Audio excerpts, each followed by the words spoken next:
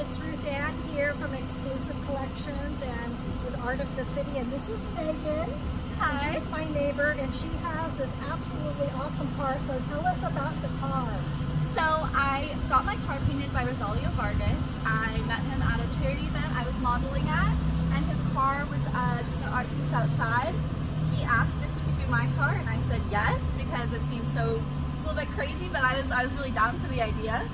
Um, and then we painted it the next day and it took about two days to paint. It was really fun. There's some glitter on it. It's all customized to what I like. The inside and the outside is painted. Um, absolutely, it's my favorite car I've ever driven. I don't know, it's it just it brings so much joy to my life, and I can see it bring joy to others, and that's why I did it in the first place to change people's mindsets and just bring a little bit of joy to the world that we live in right so now. what happens when people, when driving up, what do people, what's the response like? I get a lot of different responses. Some people really hate it, and that's kind of shocking to see, but it's okay, I understand. Um, but a lot of people love it. I love it, the joy it brings to kids. That's probably my favorite reaction. Um, but a lot of people like it. A lot of people take pictures of it. Um, I'm not always around when there's pictures taken, but I, I trust that she's in good hands.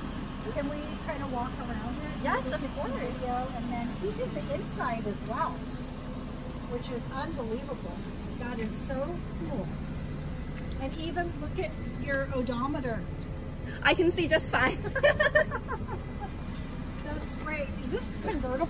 it is convertible, so the top does come down. It's fully functional.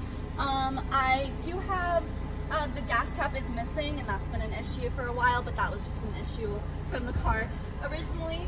Um, but it was originally baby blue and black top, so now it's just kind of all all different colors.